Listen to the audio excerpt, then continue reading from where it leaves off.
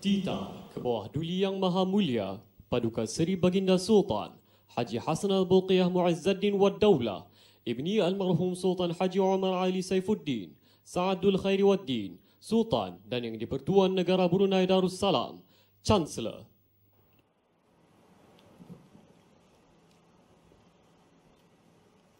Perlu disedari bahawa kita kini sedang berada dalam era revolusi industri keempat, Fourth Industrial Revolution, di mana teknologi digital akan mengubah cara hidup kita dan juga cara bekerja.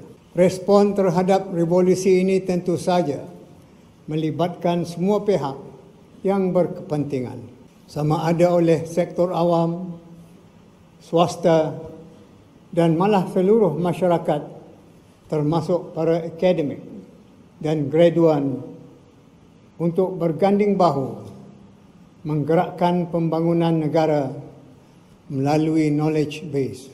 Maka sehubungan itu, Beta menyarankan kerjasama, kerjasama rapat dengan pihak industri untuk antara lain berkongsi pengetahuan praktikal mengenai trend industri dan pasaran kerja. Selain itu, sistem pendidikan juga perlu memberikan tumpuan pada pembelajaran sepanjang hayat.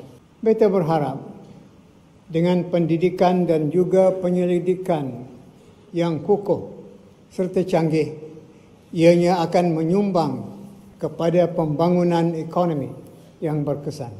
Menyentuh mengenai penyelidikan, ia adalah benih untuk pertumbuhan ekonomi. Beta difahamkan bahawa salah satu yang diberikan tumpuan oleh UBD ialah bidang data analytics sebagai salah satu langkah positif ke arah inovasi dan pembangunan ekonomi.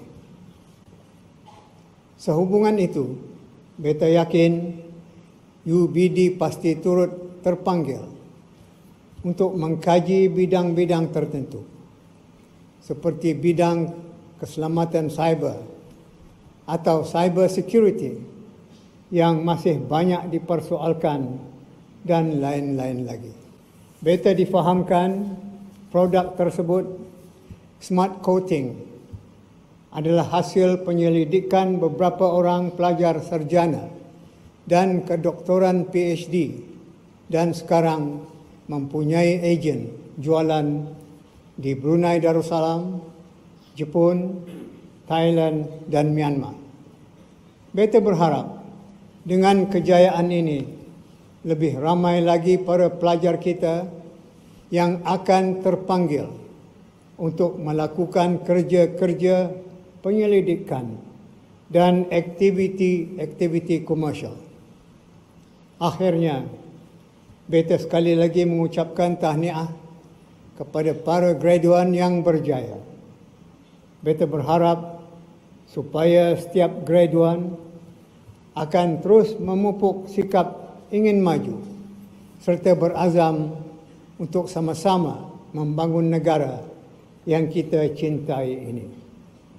Selain itu, para graduan juga jangan lupa untuk berpegang kuat kepada falsafah MIB selaku sistem kerana MIB telah pun terbukti membawa kebaikan kepada semua semenjak lebih dari 600 tahun lagi.